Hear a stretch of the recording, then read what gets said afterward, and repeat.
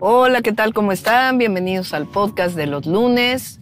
Y ahora estamos con nuestro candidato a la gobernatura de Tabasco por Morena, nuestro compañero Javier May. Vamos a ganar el 2024. Para que ustedes tengan un antecedente, Javier viene luchando con el presidente desde hace muchísimo tiempo. Es tabasqueño, obviamente. Pero además él fue secretario, bueno, primero lo encargaron del programa Sembrando Vida. Luego fue secretario de Bienestar. Después, cuando tenía problemas el presidente para echar a andar el tren Maya, se lo llevó al tren Maya. Y ahora pues está aquí de candidato a gobernador. Hola Javier, ¿cómo estás? Hola, doctora. Platícanos de dónde eres aquí en Tabasco. Mira, yo este, nací en Comalcalco, soy originario de Comalcalco, Tabasco. Ahí tienes tu casa. Gracias. A partir de, de muy joven empezamos la lucha por por el medio ambiente, por el, ah, en contra, claro, de la sí, contaminación. de la contaminación de Pemex, en defensa de los derechos humanos, en organizaciones campesinas, productores de cacao, ganaderos, ahí empezamos. Eh, este caminar junto con el presidente, en los pueblos indígenas, en las, con las hombres y mujeres. Y pues llevamos ya bastante tiempo en, esta, en este camino. Fundador de Morena, siempre con el presidente. Sí, Así es. Y cuéntanos aquí en, en, Tabasco, ¿cuál es la sensación de que el presidente vaya a cerrar su ciclo en la presidencia? Mira, hay una, digo, un sentimiento. Cierta de nostalgia. Nostalgia, sentimientos encontrados. Eh, cada vez que lo escuchan de que ya se retira, pues el pueblo no quiere que se retire. Claro, sí. El pueblo este, quiere que, que continúe este, ayudando. Eh, y él, pues es que son muchos años. Muchos en Tabasco le empezó pero también entienden esta etapa, ¿no? Y pues es muy querido, o sea, es, este, el pueblo ha sido muy solidario con él, él lo ha acompañado durante toda esta lucha, toda esta... Y al principio era difícil, ¿no? Fíjate que revisando el otro día unos documentos, ahora este, eh, revisamos el proyecto de Nación, nació aquí, en Tabasco. Fíjate.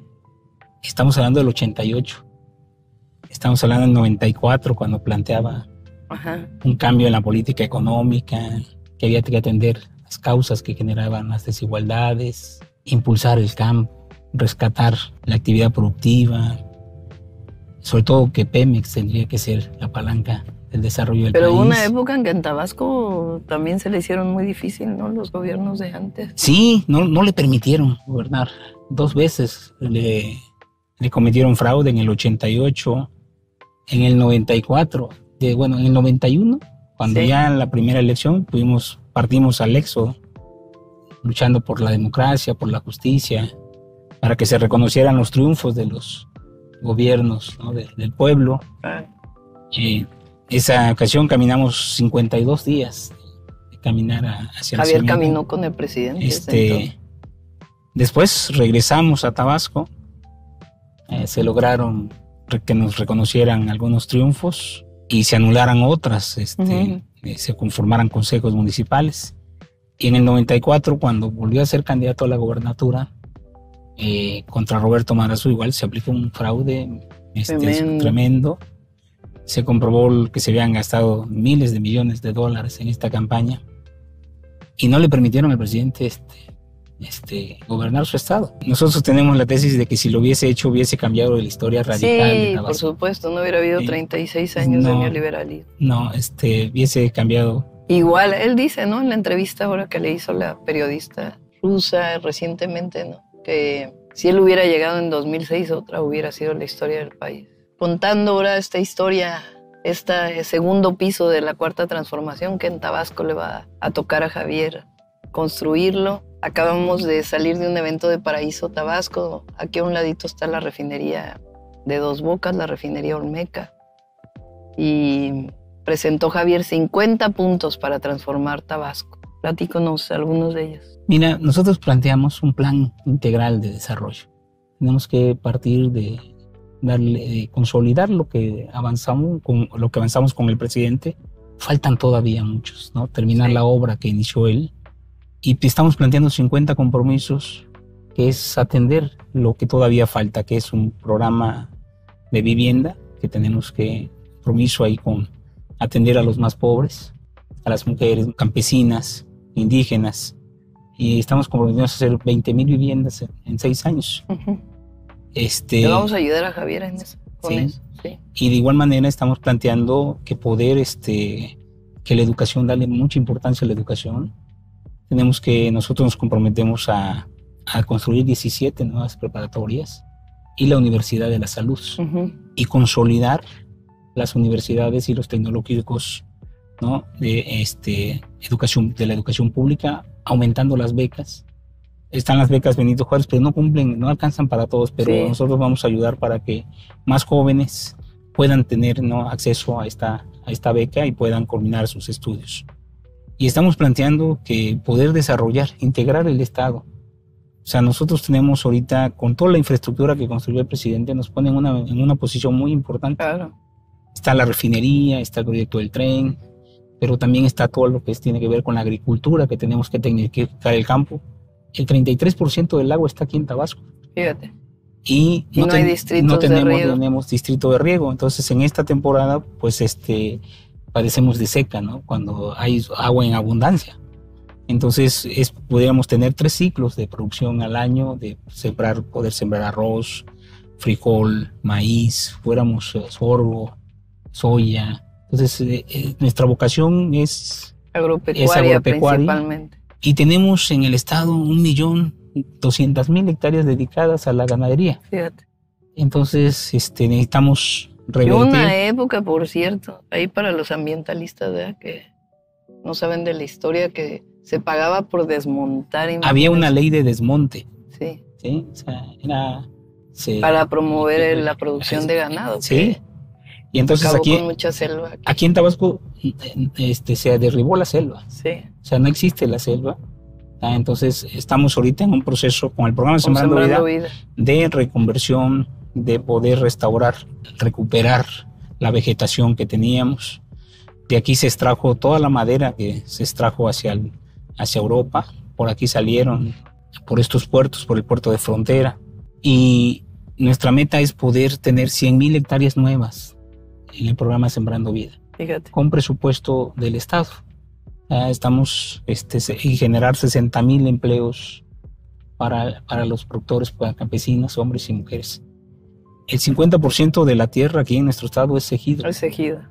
Es ejidal. Entonces tenemos un gran reto para que también haya relevo generacional, fomentar el relevo generacional. Claro, que los jóvenes regresen al campo. Que con Sembrando Vida está ocurriendo. Sí, mujeres también. Mujeres y sobre todo ya las mujeres son pueden este, ser parte de, ¿no? tener el derecho a la tierra. Yo ayer planteé que entre los programas para el campo de soberanía alimentaria y justicia, le puse República rural, eh, soberana y justa. 150 eh, mil títulos eh, de propiedad agraria para las mujeres. Sería interesante, ¿no? Porque en las asambleas equidales la mayoría son totalmente hombres. Y ahí se tiene que impulsar pues todo un, un trabajo para actualizar el padrón, poder este, tener sus reglamentos, las, los ejidos, y que sí hay bastantes temas en eso. A ver, ahora infraestructura. Hablamos de carretera, platícanos. Mira, tenemos nosotros, este, las, las carreteras están en muy mal estado, uh carreteras están a cargo del Estado y también nos conectan, nos conectamos con la península por las carreteras internacionales que son... Entonces nosotros estamos planteando poder recuperar la conectividad en el estado, que es la carretera del Golfo que va de Paraíso a Sánchez Magallanes, al puerto que antes era Puerto Sánchez Magallanes. Aquí teníamos el puerto de frontera y el puerto de Sánchez Magallanes era la comunicación. Antes era por, por mar y por río. Entonces, este, esta carretera está destruida desde hace ya más de 40 años. Este, y nosotros vamos a rescatar esa carretera. Son 62 kilómetros de carretera vamos a modernizar la carretera que tiene que ver, este, que va de Paraíso a Reforma, Chiapas, este, porque conecta las dos, la, refinería de Olmeca, Paraíso, con la refinería de Reforma Chiapas. Entonces es un, eh, una comunicación importante que vamos a modernizar esa carretera y desde luego Eh, las dos, las dos sí, que es, ayudar. es este, Macuspana, Escárcega y Villahermosa, ¿no? Ciudad del Carmen. Ciudad del Carmen. Tendríamos conectividad y nosotros tenemos que conectar, ampliar también donde va el tren, el tren de Paraíso a, a Estación Chontalpa, modernizar la carretera sí. para poder este, tener conectividad con el interoceánico. Yo le llamo eso República Conectada, porque toda la infraestructura de trenes, puertos, el puerto frontera que también vamos a desarrollar aquí en, en Tabasco, infraestructura de trenes, puertos y carreteras, lo que van a permitir es mayor conectividad para pasajeros y para carga. Claro. Y además Tabasco puede ser un es estratégico para la proveeduría de la península. Exactamente. para la Riviera Maya. O sea, aquí se va a desarrollar la, la, la, industria porque todo lo que es textil, este, todo lo que es alimentos, pues viene ¿no? desde el centro del país hacia, hacia la península. Sí, la península, fíjense, el otro día estaba hablando con una persona. Me dijo que por problemas de conectividad históricas, que además no hay buena conexión entre las dos concesiones de ferrocarril, a veces cuesta más caro increíble traer el maíz de Sinaloa ¿Sí? al sureste que importarlo de, de Sudáfrica. Claro, además en Sudáfrica hay maíz transgénico sí. que no se debe de importar. Pero de todas maneras es un absurdo. Eh, sí, claro. Aquí tenemos muy buenas tierras para y agua en abundancia. Sí. Entonces, es, será un estado que detonaremos y el reto es tecnificarlo el tema de la acuacultura también tenemos, no aprovechamos. Sí.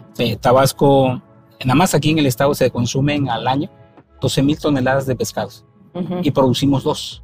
Fíjate. Entonces, este, eh, entonces ese es lo que necesitamos reactivar, este, tecnificarlo y que la gente pueda vivir de manera feliz, o sea, que es que pueda tener. Esa es la esencia de la cuarta transformación.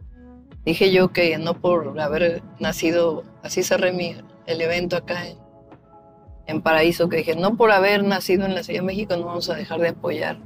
Al sureste es un asunto de justicia.